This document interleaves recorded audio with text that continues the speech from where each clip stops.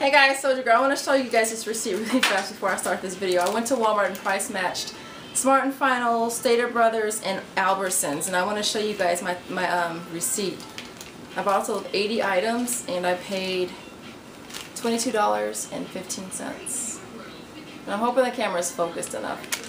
So I'm going to break this down. So if you want to know what I bought, what I say, Okay guys, I had an awesome time at Walmart today. I really did. Now, off the back, I'm going to let you know that my total before before coupons was $176. However, I only paid $22.15 for all you see here.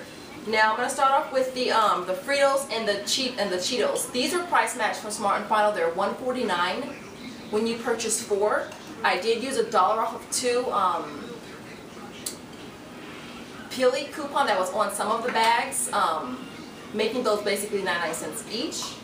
I picked up the um, Farmer John's sausage links right here. These are price matched from Stater Brothers for two for five.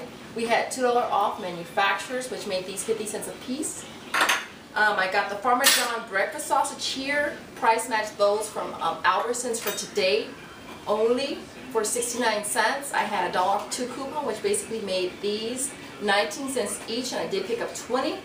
Um, I picked up 10 of the regular classic and then 10 of the maple and I will definitely throw these in the freezer as soon as this video is done and this will last us for a long time. They don't expire till um,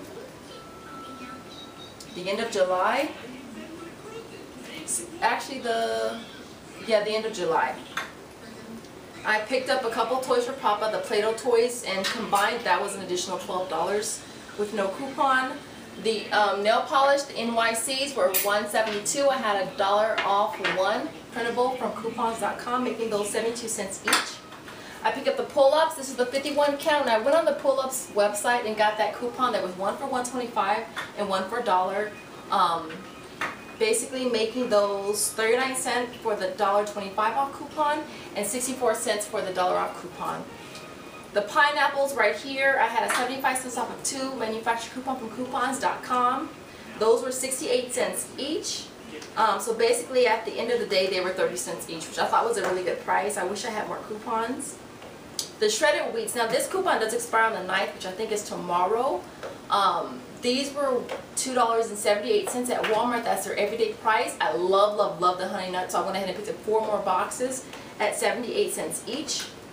Now the big money maker for me was the Oral-B replaceable head um, item. Those were 5.67, and I had I used a seven dollar coupon. I got that deal from um, the Clam. Straight up, I got it from the Clam.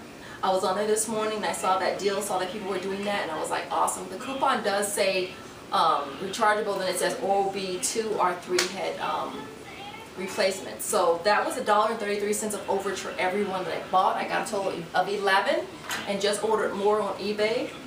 Um, the L'Oreal shampoo, that one. Now I know we were using the, we were able to use a dollar off coupons for those, but I used the um, $2 off coupon because it does say um, for treatments, and I figured this was the same because um, it does say total repair, so to me that's considered a treatment. And I have seen other people use that coupon for that as well, so that worked fine. I picked up 20 of those. I got $20 and some odd cents over for that as well. The Q-tips over here, I only picked these up because I needed them, simply put. I'm so OCD with cleaning my ears out. I mean, I probably do it twice a day. And so I run through clean. I run through Q-tips. Those were 238. I only use a quarter coupon, making those 213 for the 375 count. I picked up the Taster's Choice right here just because I had a um, I had a 55 cent off manufacturer coupon from the inserts, and I only had one, so it must have been in the LA time and making these 45 cents. Now, I'm not a big fan of, of instant coffee, but you know what? When you don't have coffee, that's better than nothing. I also picked up the bug spray because we've been having crazy, crazy ants. This is the season of the flipping ants. And so I had to get this. This was, Honey ants! This was um, scavenger ants, baby. This was $2.78. I had a dollar off coupon from the inserts, making that 178 I'll probably go back and pick up another one. Because I'm just, I hate ants, I hate roaches, I hate bugs, I hate water bugs. I just, I hate them. And there was three in my bathroom last night, and I freaked the hell out. I freaked the hell out. Well, they're under Um, the sink. The last thing that I got, you guys, was the Part of the thing that's coolant. I got the coolant because I went there to get an oil change for my car, and I was very low on coolant. I think I don't think I had any in my car at all. So I picked up this. This was nine dollars, so I didn't have a coupon for it, but nonetheless, again, it was something that I definitely needed. Overall, again, I did pay twenty-two dollars and fifteen cents for all you see here. I thought it was an awesome, awesome, awesome transaction.